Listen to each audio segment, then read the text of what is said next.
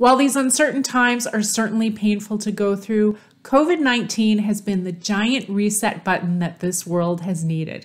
I know that I've needed it in my own life, and I really needed to examine some of the habits that I had and maybe some of the things that I wanted to incorporate in my life now that everything's been turned upside down.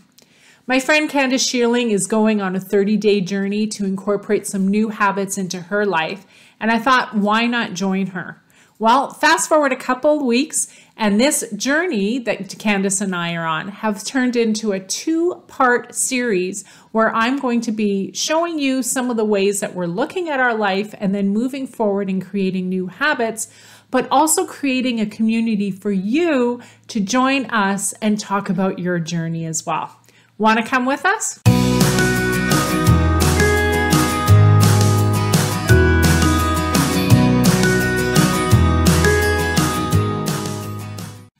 Hey friends, it's Leanne, and when COVID 19 hit, my life got turned upside down, as I suspect most of yours did as well. And if it wasn't upside down, at least it was a little bit sideways. And after a few weeks, I realized maybe this upside down life isn't the worst thing to happen to me after all, because it's given me a new perspective on how I approach my daily life and all the habits that come along with that. Then I had the great opportunity to chat with my friend Candace, and she was looking at this also as an opportunity to incorporate some new, healthier habits in her life. And I thought, well, this is easy. I'm going to be home for 30 days. I can do this habit changing challenge as well. Well, as with all things in my life, I wanted to create a system that worked. And in creating that system, I have documented my journey and now created something for you to use as well. So today we're talking about part one of this 20,000 foot view of our lives and creating some changes that we can implement as we're starting in our new normal and our new routine of being home for the next 30 days. Because when it comes to the rest of your life, 30 days or even 60 days, 90 days is a very small investment in making choices that can affect your future joy, your future happiness, your future balance. And that's what I'm trying to do. There's still tons of time for me to make a great impact in the industry, a great impact on my family, on my physical health, and my mental health. So this 30 day challenge, I'm hoping turns into another 30 day challenge and so on and so forth. But today what I want to show you is where I started in determining what was going to be my next 30 days. So why don't you come with me and I'll show you what I did. But before we get started, don't forget to subscribe to my YouTube channel. Right now, there's a lot of great COVID content, but in addition, I'm still producing meetings industry related content, especially for you partners out there that are in this transition time of being busy, busy at the hotel and waiting for the industry to start up again. Tons of great stuff coming, so make sure that you subscribe.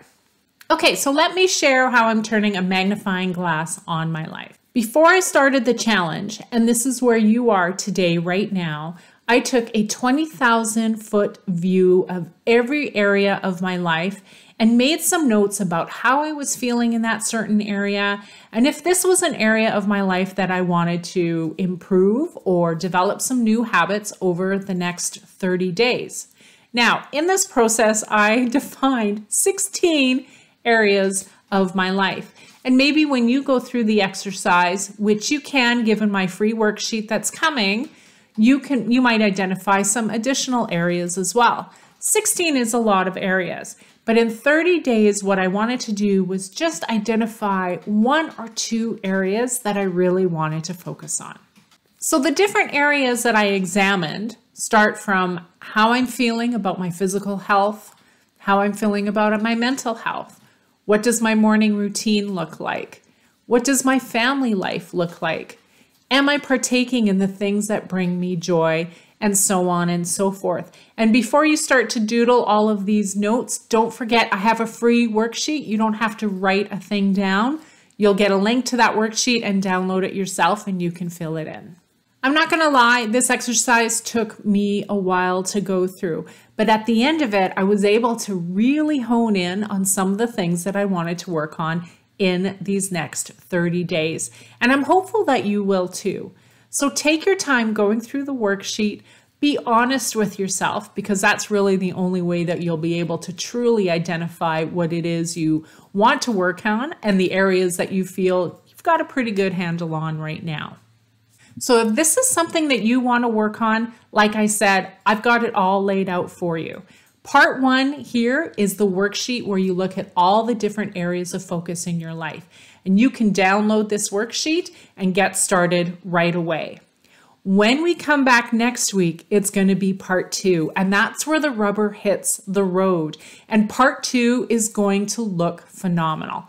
We're going to walk you through what areas of focus to work on, but also give you an opportunity to join something I've never done before in this community, and that is to create a community.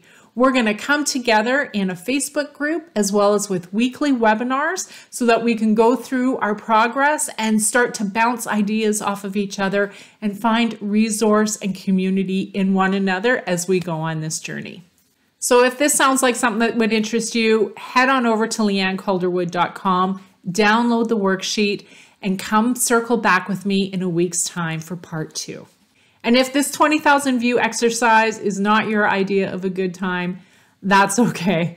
But remember, this could be a once in a lifetime opportunity where we can take a pause and create some change in our life before the normalcy of busyness creeps back into our daily schedules. And if you're just looking for some simple productivity tips, I've outlined some tips in the blog post and vlog above here. Simply find something that resonates with your style and make something new this month.